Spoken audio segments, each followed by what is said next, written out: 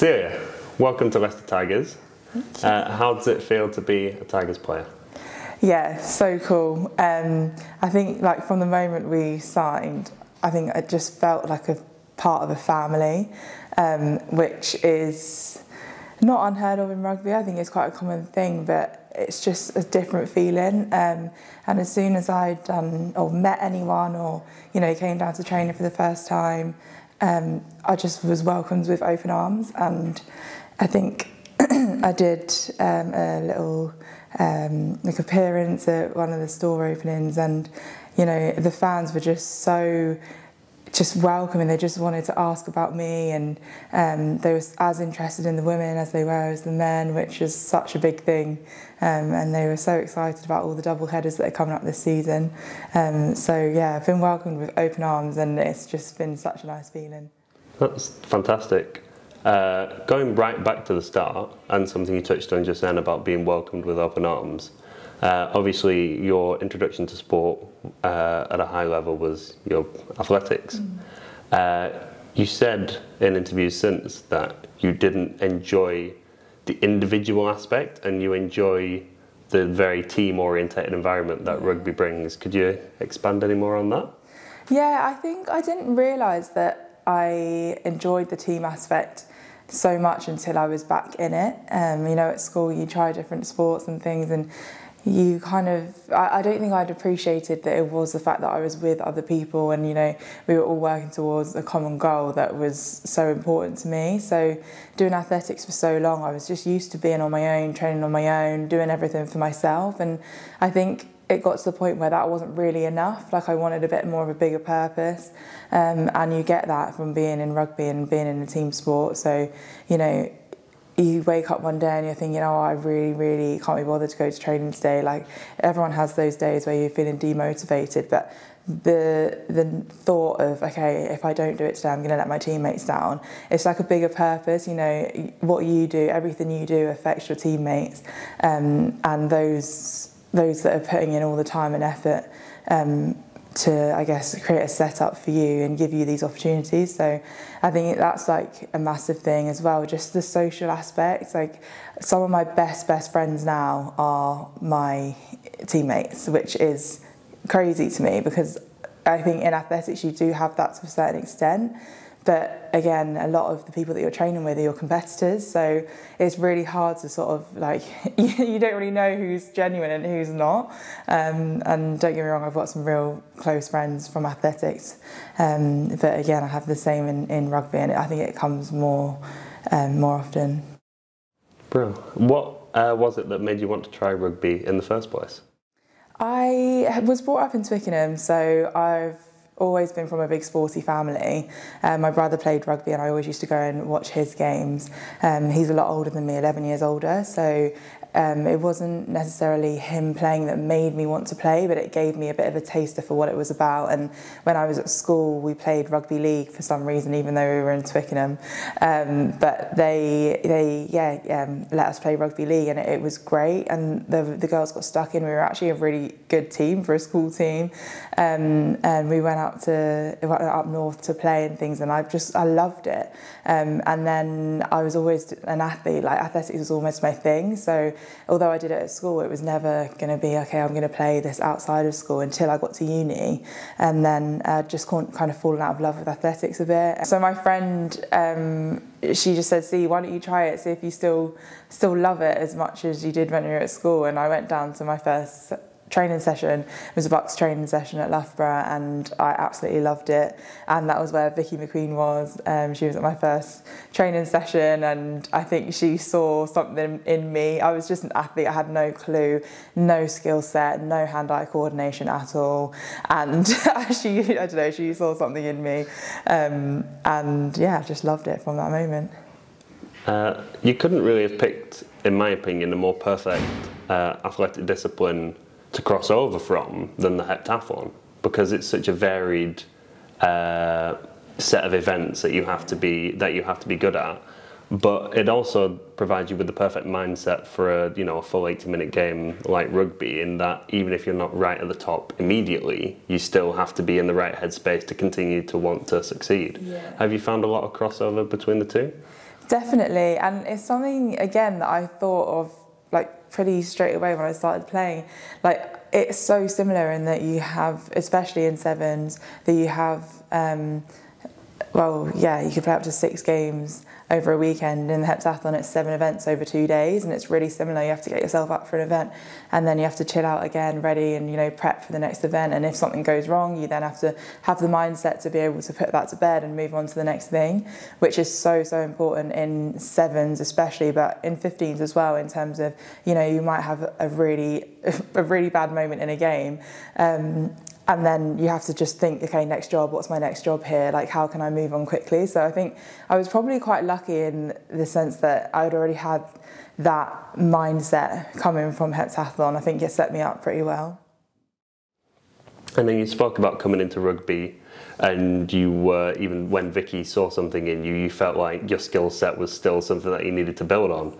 Often in rugby, you find that players uh, play the game from a very young age, and then it's all about building up in the gym their athletic yeah. performance. Whereas you were the opposite. You're coming in with an exceptional athletic background.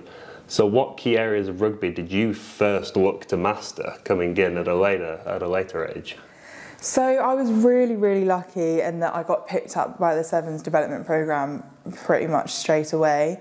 Um, James Bailey, he was the Sevens head coach at the time, and he just took a chance on me and brought me in. And I think that you're right, he saw the athleticism in me and thought, okay, we can make you into a rugby player. Um, the main thing, like genuinely, I couldn't catch a ball. Like my hand-eye coordination was shocking, and the girls will vouch for this. um, I get absolutely ripped about it all the time. But um, yeah, like I've never, I've never had to run like off line like ever. I always ran in a straight line.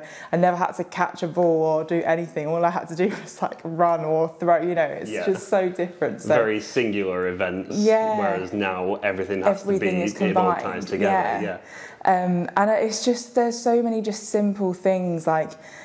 Just, people used to say to me, "Oh, just run a line," and I was like, "What?" Like what what does that mean? Like it's an it's so alien to so many people. And you know now i think back to it and i'm like oh god like it makes me cringe because i didn't have a clue. I must have felt like looked so out of place. But i just loved it. That's all i knew. But yeah i think like genuinely just the, the basics were were key at the beginning. And you know as soon as i learned to catch like i was flying down the wing which is all they wanted me to do really. So yeah it, we got there in the end Was there anything specific, uh, like training wise, for people who are looking to improve on the field that you know you that you did to be able to you know like you know hit specific lines or you know even just something as simple as catching? Was it literally just taking the ball over and over and over and over again? Yeah, I did a lot. I did a lot sort of outside of the training um, sessions, like on my own with one to ones, with coaches, with players.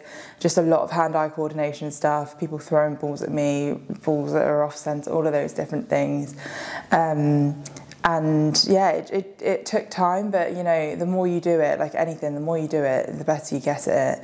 Um, and even now, like I'm not the most skillful player, but I know that's not that's not what I'm in the team for. Like that's not what I bring. We have players that are so skillful, um, but mine, I'm more about my athleticism, the size of me, my pace, all of those things um, that come together. But yeah, I definitely think that mindset is a massive thing, and you know, just the commitment to training and wanting to be better. Anyone can be better if they they put the time into it. And I think at the end of the day, it, yeah, if you want it enough, you can make it happen. Bro, uh, the jump from, as you touched on, university rugby straight into a sevens program. Uh, how did you find that going into that uh, ultra competitive environment, as yeah. I imagine sevens is? It must, yeah. Yeah. So because it was quite a quick turnaround in terms of I, I literally went to my first training session. I played, I think maybe a week or two after that, and then it was um, maybe even a month after that, that I was then brought into my first development, seventh development trial. So it's all so fast. Um, but I think because I'd been competing at quite a high level in athletics, I already had that sort of professionalism and I kind of understood that side of things. So I already knew how to, in a way, look after my body. Like, yes, I was obviously a lot younger and naive, and there were things, again, like in a team sport, you just have to be so much more considerate of others. And I, I remember having a bit of like a reality check when I came in, thinking, oh my god, like okay, I've actually got to like think about these like how I'm behaving is affecting these other people. Like you don't have to do that in athletics. Everyone is just there for themselves and. Um, there were just a few like little things, you know, just like about just simple things like being on time, you know, um, just there's just so many like basic things that I look back now and I think, oh my god, it, it honestly makes me cringe. So I'm like, if I saw someone else coming into like a setup now and, and probably behaving how I did when I first came in, it would just yeah, just be like, oh god. But yeah, I think in terms of the actual professionalism of what I did and like my training and everything, that was all there. It was more just learning about how to like yeah, be in like a team sport.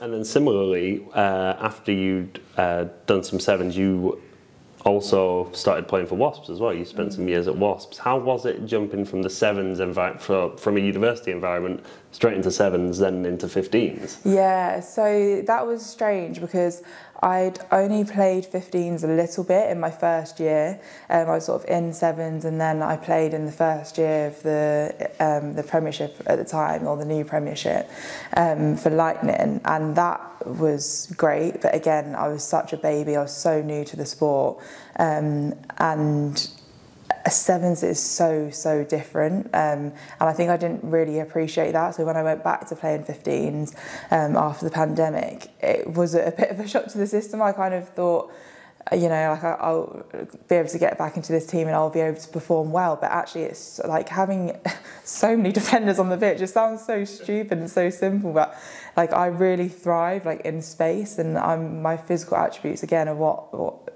it is my game um, and not being able to sort of use my speed all the time and not having the ball in my hands all the time um, just was so like so different. But again like learnt to love it and I played I think the majority of that season for Wasps and I loved it by the end. Um, and yeah it, I think it was good being able to have a bit of a balance and, and doing both which is obviously what I'm able to do now which is nice.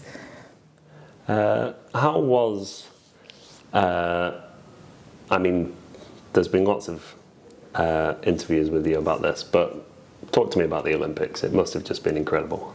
Yeah, it was. Um, it was. It was such a surreal experience, and like, even when I think about it now, I just can't believe that I actually have been to the Olympics. Like it's crazy. Um, but yeah, I think it's always it's always been my dream. Like that growing up, I was like, I want to go to the Olympics. I'd always always said it, and I had this thing in my mind. Like I knew I was going to do it. Initially, I thought it was going to be for athletics, and then obviously transferring over to rugby and being able to make that happen was amazing. Um, obviously, it was different because it was in COVID, so we weren't allowed spectators, which is is very different to how I'd imagined it, like being in my mind. Like I imagined my whole family being there and all of those things, but um, it was still like it was still incredible. Um, and you, you, can't even explain it. It's just bigger and better than you would ever really think. The village is just crazy. The food hall is the biggest thing you've ever seen. like it's absolutely wild.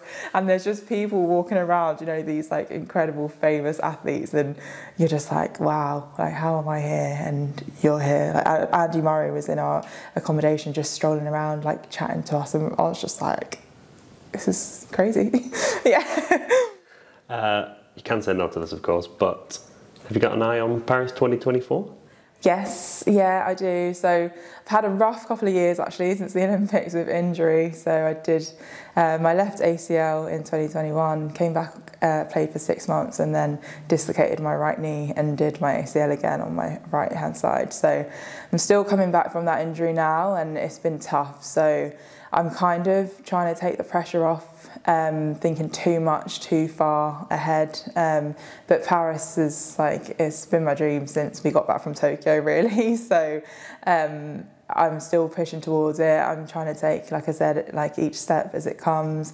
Um, but I'm hoping, yeah, hoping to be back playing soon and, you know, pushing towards, yeah, that goal.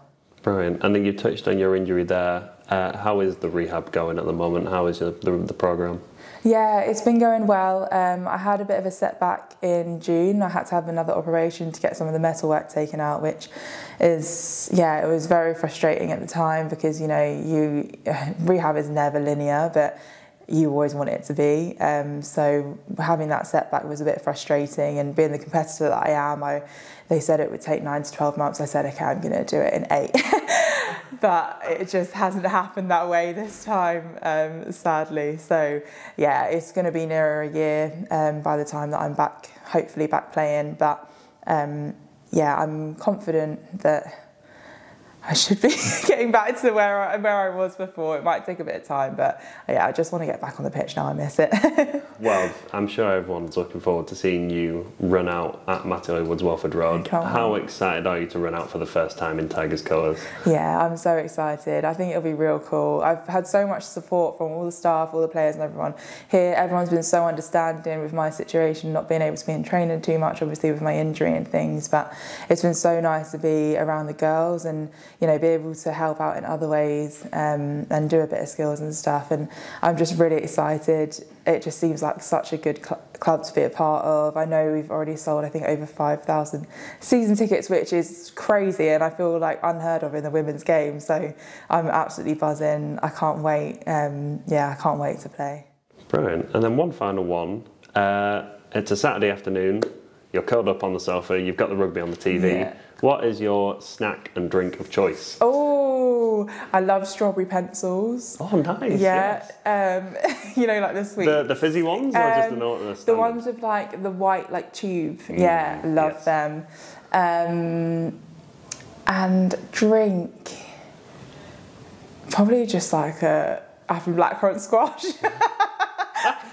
Classic. Any particular brand? Robinsons? No, not Robinsons. Robinsons, you have to put too much in. You have to, it's too mm. much to dilute. Just like the cheap one for me. It's great. Excellent. Well, thank you very much. This has been fab.